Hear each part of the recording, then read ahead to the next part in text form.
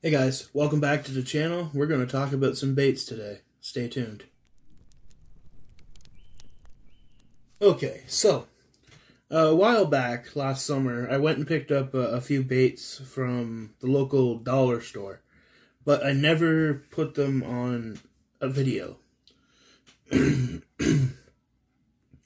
a series of soft plastic swim baits that are already pre rigged with uh, hooks. Uh, they're made by Mako Baits.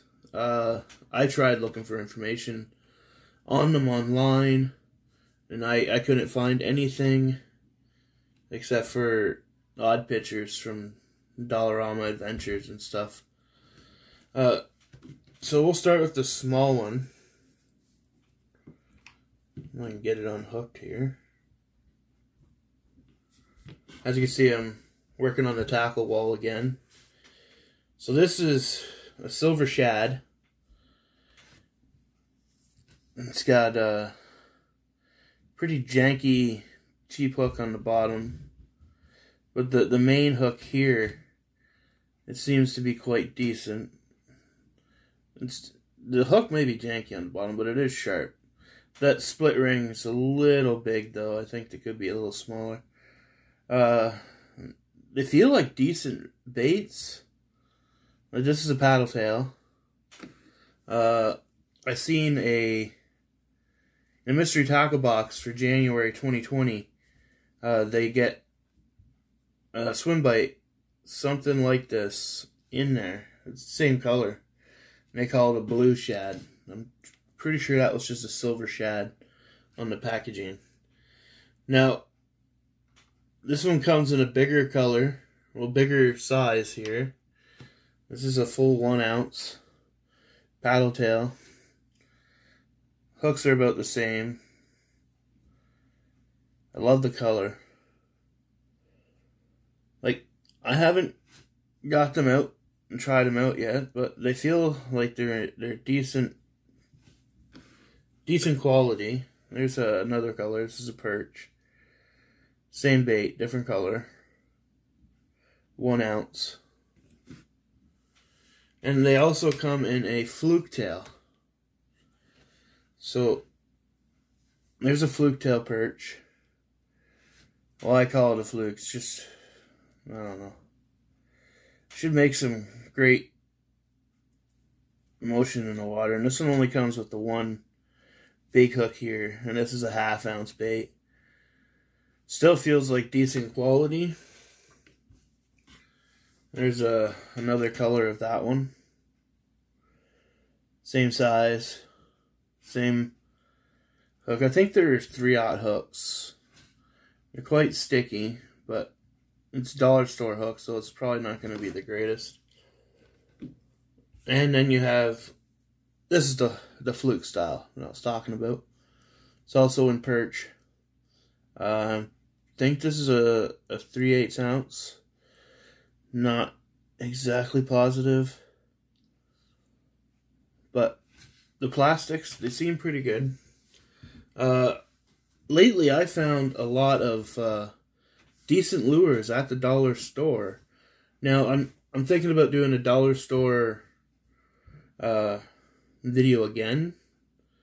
Uh, maybe later later in the summer once bass season opens, or maybe if they I find some walleye baits there, we can use them for walleye.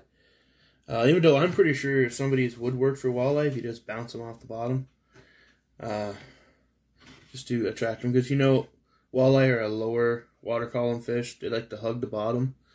Uh, yeah. But yeah, that's what I wanted to talk about the the Mako baits from the dollar store. There's also ones there that just say just fishing tackle. Like I, I don't think I'd trust the hooks or the the weights that you get from there because they look like they're really cheap. But the spoons, the spinners, uh, the soft swim baits, the crankbaits, I got a couple of those too. And I got jointed swim baits from the dollar store also. You've seen them in a previous video. But I just wanted to shout it out there. If you're a, a, budget fisherman and you need to find some decent baits that could probably work in your waters around you, you got a local dollar store, go check them out. Go see what their baits are, see what they got, and if anything, they're cheap. Just give them a try. Right? You can't go wrong with a cheap bait. Like uh, these were uh, three dollars and fifty cents, and for an equivalent bait, even at shopcarls.com, you're looking at about nine ninety nine for a bait like this. So it's worth a try.